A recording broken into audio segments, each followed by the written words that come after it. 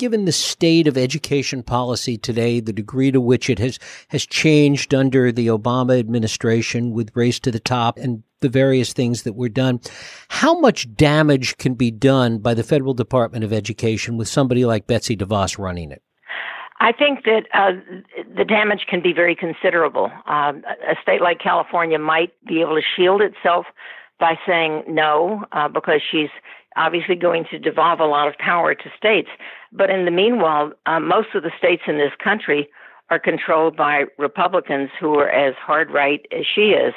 And so we may see uh, half the country moving towards uh, disestablishing public education and replacing it with vouchers for religious schools. And frankly, there are not enough religious schools in the whole country to accommodate all of the uh, children who would get vouchers under under the proposal that Donald Trump has made. So we would see uh, fly-by-nights uh, operating in church basements uh, and fly-by-night charters that pop up overnight. Uh, the state of Michigan has uh, many charters, hundreds of charters, and the charters in Michigan do worse than the regular public schools uh, Detroit, which is overrun with charters and overrun, by the way, with for-profit charters. I, I don't think that California has. Now, California does have some for-profit charters, but um, Michigan, 80% of the charters in Michigan are for-profit. Uh, so it's a terrible, unregulated uh, sector. And the Detroit Free Press ran a, a, a year-long investigation in which they said the charter industry in Michigan spends a billion dollars a year of taxpayer money with no accountability, and it gets worse results in the public schools. So I think that if we take Betsy DeVos's example of Michigan, we're talking about the the, the dumbing down of American education uh, and the ruination of good public schools. What does this mean for things like Common Core and some of these local funding formulas that have been put in place over the past several years? Well, I, I don't think that she will have much effect on Common Core. Donald Trump used that as an applause line when he was running for office that it's a disaster, he'll get rid of it. Uh, actually, Common Core is, once it was created and, and it was shoved into the states by Arne Duncan, because Arne Duncan said, I have a $5 million pot of discretionary money here. And if you want to be eligible to apply, you have to adopt the Common Core. So something like 45 states went along and adopted the Common Core in hopes of getting a part of that $5 billion. Uh, only 18 states got uh, the, the, the money he was offering, uh, but then 45 were stuck with the Common Core. Now, these states can get rid of the Common Core if they want to. It's not really a federal issue anymore, and the the education uh, department, uh, the person who's in charge of it, can't say to states, "Don't use the Common Core," because uh, he or she, and she in this case, doesn't have that authority. Uh, as it happens, Betsy DeVos is a supporter of the Common Core, and I've seen several names uh, like Hanna Skandera, who's now the chief education officer in New Mexico, who is an avid supporter of the Common Core. So every name that's been proposed for uh, the Trump administration's Department of Education is a huge supporter of Common Core. So this is just another one of Trump's lies. Talk a little bit about funding and the impact that it can have on states that, that might resist some of the changes. States like California, as you mentioned before, that might resist some of the changes trying to be made. The, the nature of the um, what what they want to do with funding is Donald Trump said during the campaign that he would take 20 billion dollars of existing federal funding and offer it to the states as uh, you can do with this money what you wish, uh, but it'll be targeted for vouchers or, char- or charters or any other use you want to make, cyber schooling.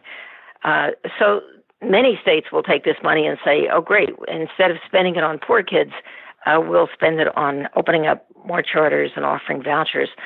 Um, I think that if California doesn't want to do that, it won't have to do it. You can continue your present funding formula. But what he's what he's trying to do is to take existing federal funding that has a specific purpose. One, to help poor kids and to go directly to those schools where they're enrolled. And two, I believe he'll also be dipping into money for special education and kids with disabilities. uh, because he's got he's didn't say he was going to spend new money on education. So he's t- those are the two pots of money that he can raise and say this is money going to the states and it's going to be turned into money to be used for charter, charters or vouchers. And presumably, they might even include public schools as one of the choices you're allowed to make. So, if if a state like California says we don't want what you're offering, uh, that money could be used for more charter schools. I mean, California already has more charter schools than any other state. Uh, and frankly, I, I think the state has too many charter schools and not, as in every state, not enough supervision. I spoke with your uh, head of the State Department of Education, Tom Torlakson, and I asked him, what kind of supervision are you able to provide? And he said, we, we simply don't have the staff to uh, supervise charters. So charters are basically, uh, they take the money and, and nobody oversees them. And the only way that scandals are revealed is when there's a whistleblower. Talk a little bit about the impact, the overall impact you see this having in terms of accountability. You know, we've talked for so long in this country about testing, about accountability, about measurement, about metrics in education. This is debate's been going on for a long time. How do you see that playing out within the context of all that we've been talking about? Well, just before the election, Congress passed a new law to replace No Child Left Behind called the Every Student Succeeds Act. Um, I mean, I have a big problem with this whole idea that this federal government is in charge of accountability because they're very distant from the schools and they frankly don't know what they're talking about. So they're always looking for some kind of a, a, a measurement tool and they fall back on what, what's available, which is standardized tests.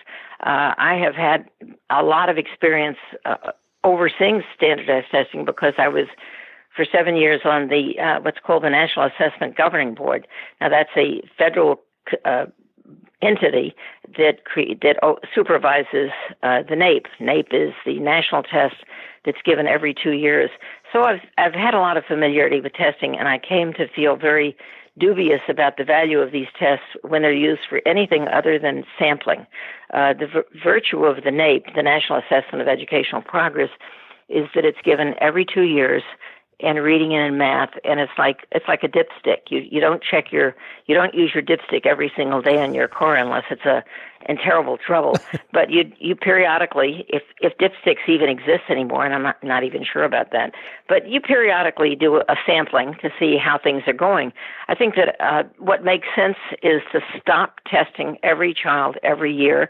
There's no other country in the world that does this uh, but Congress uh, could not give up on the No Child Left Behind idea of testing every child every year. And so the new law, uh, the Every Student Succeeds Act, uh, will mean every child will be tested every year from grades three through eight in reading and in math.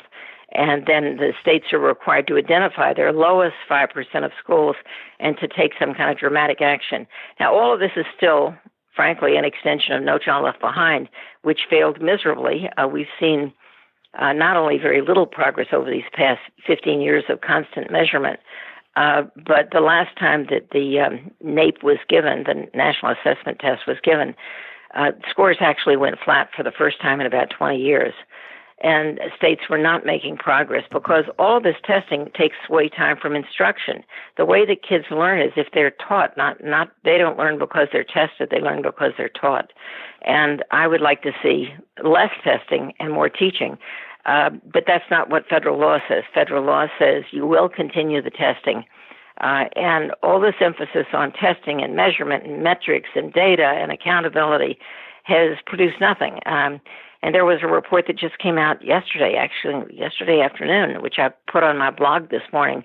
Uh, Mathematica Policy Research, which is an independent research agency, was commissioned by the federal government to evaluate one of its big programs. And it's called the School Improvement Grants. This was three and a half billion dollars. We're not talking million, we're talking B billion.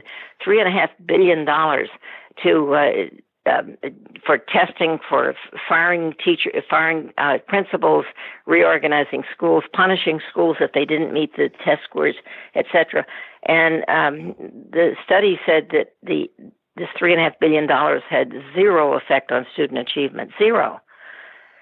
So I think that all of this data-driven testing uh, has no impact other than to destroy the arts, uh, eliminate physical education, uh, reduced uh, reduce the teaching of science and history and civics and distort education.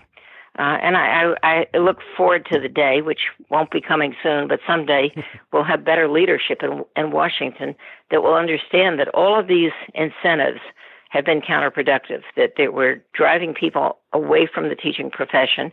Uh, we're not getting the best people coming in because the best people are leaving uh, because they're sick of being judged by these stupid standardized test scores. And finally, Diane, what should parents be on the lookout for in this kind of environment that we're about to go into? I think that what parents need to do is to go to their schools and say, you know what really matters to me is that our ch- my child have adequate time for the arts. I want my child to come to school not to be tested, but to learn to play an instrument, to sing in a chorus, uh, to uh, join a band, uh, to, to paint, to, to do sculpture, to learn to use the computer to do creative things. I think that parents should insist upon all the activities in school that lead to healthy and happy and fulfilled children that give children joy. I mean, I think that what's really crucial is to forget about the test scores and focus on the joy of learning. And everything the federal government doing is doing and has been doing now for 15 or 16 years has been uh, well has the effect of squashing the joy of learning. And this is a great country. We have wonderful public schools, despite all the lies you hear in the media. And support your public schools, support your teachers, and encourage them to give children time to play. Um, read uh, Pasi Sahlberg's wonderful book, Finnish Lessons, and learn about how Finland became one of the best education systems in the world, not by testing, but by focusing on creativity and the arts and the joy of learning. It really works.